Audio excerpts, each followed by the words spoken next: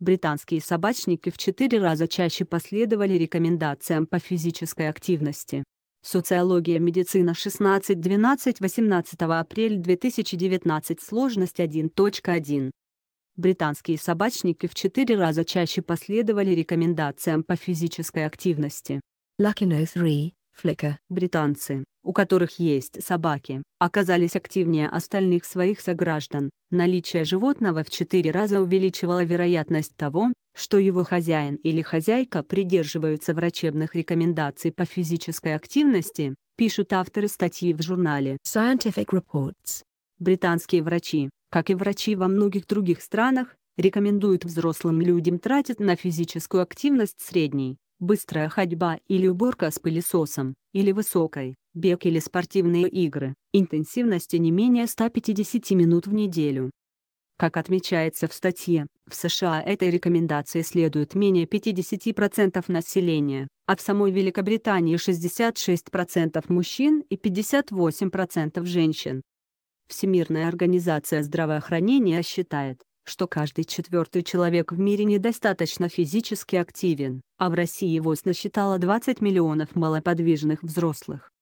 Российский министр спорта Павел Колобков в прошлом году заявлял, что физкультурой в стране занимаются 36,6% жителей в возрасте от 3 до 79 лет.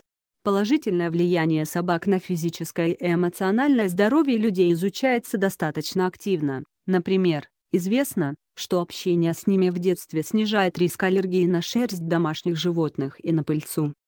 Канадские ученые также выяснили, что полтора часа группового общения с собаками снижают стресс у студентов и повышают их бодрость и настроение. Прогулки с собаками полезны для пожилых людей, а совместные занятия физкультурой помогают похудеть хозяину, и собаке.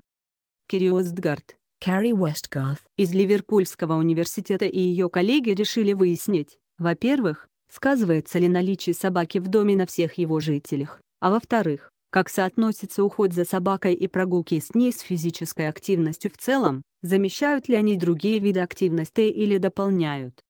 Для этого они оценили физическую активность в 385 семьях в Западном Чешире. Всего в исследовании участвовали 191 владелец собак, 455 человек без собак и 46 детей. Всех их опрашивали об уровне их физической активности, а на 28 испытуемых проверили достоверность этих данных с помощью акселерометров. Владельцы собак, помимо прочего, лучше оценивали состояние своего здоровья. Выяснилось, что люди с собаками ходят на более длительные прогулки и в целом проводят существенно больше времени гуляя. О равно 14,35 то есть вероятность прогулок для собаковладельцев в 14 раз выше, чем для людей без собак.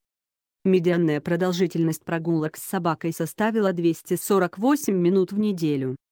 При этом прогулки с собакой дополняют другие виды физической активности, на которые наличие или отсутствие животного не повлияло. Собака повышала вероятность того, что взрослый соблюдает норму в 150 минут физической активности, в 4 раза, а 64% владельцев собак проводили только с ними на прогулках более 150 минут в неделю. Дети с собаками также гуляли дольше сверстников без собак. Авторы отмечают, что их результаты сильно отличаются от результатов предыдущих исследований, в том числе сделанных в США. Например, всего 27% американцев гуляют со своими собаками более 150 минут в неделю. При этом среди них 48% владельцев собак против 24% в Великобритании. Возможно, это связано с тем, что американцы чаще отпускают собак на самостоятельный выгул, предполагают авторы. Ученые также подчеркивают, что дизайн их исследования не позволяет однозначно утверждать, что именно появление собаки в доме делает людей более активными. Возможно, более активные по другим причинам люди чаще заводят собак но некоторое количество таких данных имеется. Наконец, они не советуют брать в дом или дарить кому-то собаку только для того, чтобы быть более активным здесь они предлагают учитывать благополучие животных. Если вам нужны аргументы в пользу физической активности, Даже час физических упражнений в неделю снижает риск возникновения симптомов клинической депрессии на 12%. Ежедневные часовые физические упражнения умеренной интенсивности нивелируют повышенный риск смерти, связанный с малоподвижностью. Кроме того, физкультура считается основным способом профилактики рецидива рака груди. А неспешная прогулка на 20-30 минут на свежем воздухе помогает снизить уровни двух известных биомаркеров стресса кортизола и альфа-амилазы. Ольга Добровидова